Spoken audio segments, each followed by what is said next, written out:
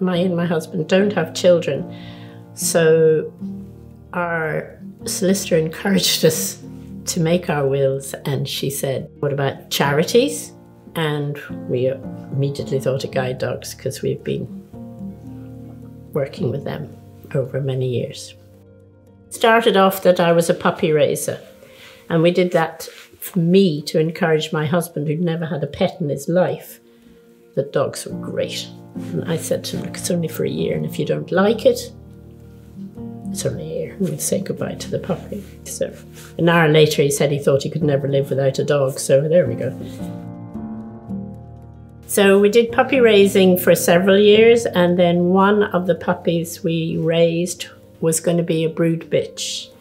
So I pleaded with them, could I do that? You know, I'd never had any experience, so can I can understand there was a reluctance to take me on at that stage. But however, something like 16 litters later, that's what I do.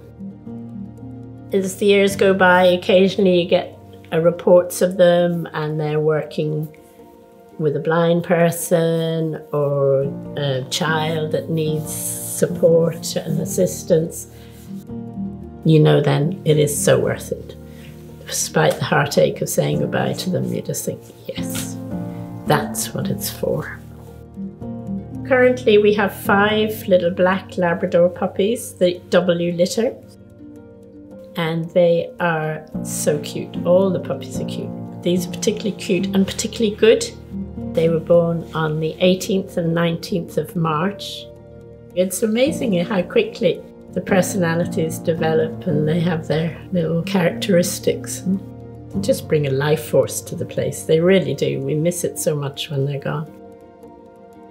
Knowing how much the dogs can change not just one person's life, but a whole family's life We've met people whose lives have been changed and they've been in tears of gratitude at having a dog for their child and how they can now go out as a family. So, why wouldn't you do what you can to help that?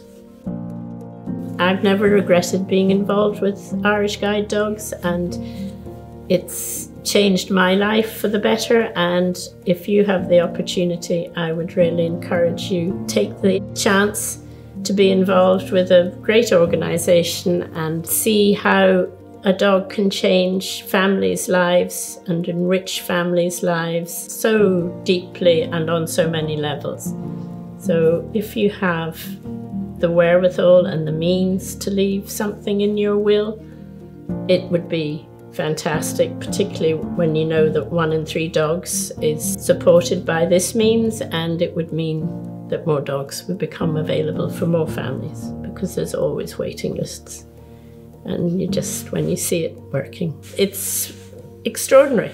It really is extraordinary when you see what a dog can do.